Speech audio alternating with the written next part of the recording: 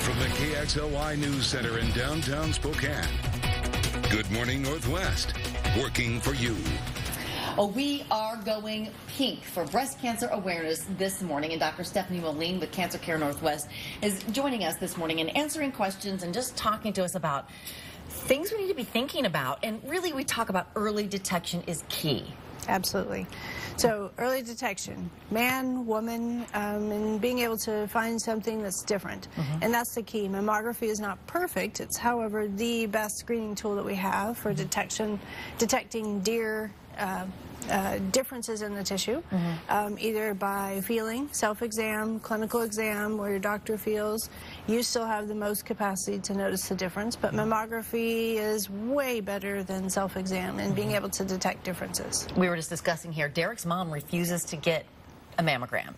Right. Because it's, it's, it's the fear of knowing, but how do you combat that? Because I would rather have the peace of mind and be able to sleep. And it's education. It's always a balance of interest to say, what do people want to know? There are people who don't get any sort of medical care and wait for things to happen.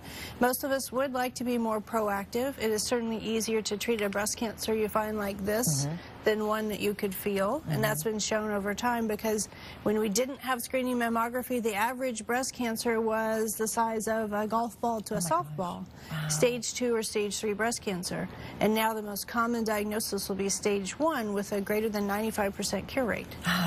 And that rather the, that. that's the role of screening. Screening mammography being the best tool that we've got for being able to detect cancer at the earliest stage we possibly could tell.